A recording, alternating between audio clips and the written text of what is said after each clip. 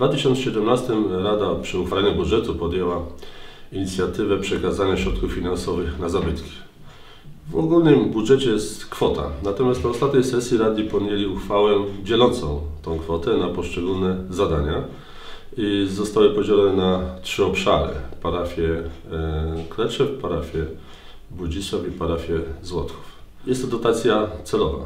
W tych y, parafiach musi być określony cel wydatkowania środków finansowych. W parafii Kleczew proboszcz y, chce zrealizować ostatnie zadanie, jeżeli chodzi o witraże. Jest to ostatni witraż, który nastąpi renowacja. Oczywiście do przypomnienia powiem, że renowacja witraża polega na pobudowaniu nowej szyby zewnętrznej i odrestaurowaniu starego witraża. Będzie już z komplety, wszystkie witraże naszej, naszej świątyni klaczewskiej będą zrealizowane.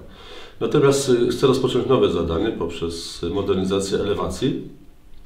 W tym roku chcę proboszcz przygotować dokumentację techniczną z zakresu rzeczowego wykonania tej elewacji i rozpocząć pierwszy etap y, wymiany części cegieł, fug. Z dokumentacji będzie wynikać, jaki obszar w tym roku zostanie zrealizowany.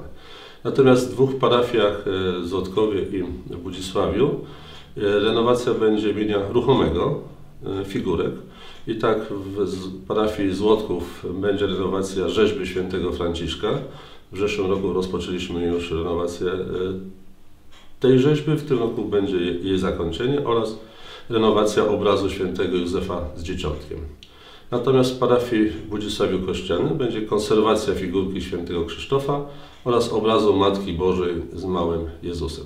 I to jest cały obszar, którym obejmowały te trzy uchwały na ostatniej sesji i chcemy je zrealizować. Teraz poszczególni proboszczowie muszą wystąpić do konserwatora o wydanie stosownych postanowień mówiących o tym, że figurki te, i, i te obszary są w decyzji konserwatorskiej i na podstawie tych dokumentów będą podpisane umowy z parafiami na wydatkowanie tych środków e, finansowych i oni podpiszą umowy z konserwatorami na realizację tych zadań i potem nastąpi do końca roku rozliczenie e, całej dotacji. Znaczy ten zakres, który postawiłem, to jest przeznaczony na ten rok. W 2017 zostanie podpisana umowa i zakończenie będzie w roku, e, tymże roku. Natomiast e, rozpoczęcie zadania w Kleczewie poprzez renowację elewacji, to po dokonaniu dokumentacji będziemy wiedzieli, czy ten okres będzie na pewno nie w tym roku, bo to jest zbyt duża świątynia, ale wtedy rozłożymy sobie to na poszczególne lata, bo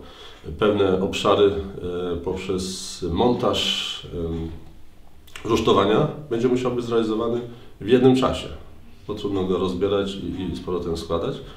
Natomiast e, w drugim półroczu, przygotowując budżet roku 2018, pewnie wtedy już opowiemy sobie, w jakim czasookresie będzie można zrealizować to zadanie i pewnie już z wyprzedzeniem w porozumieniu z księdzem proboszczem będziemy określać środki i lata, w których będzie to realizowane.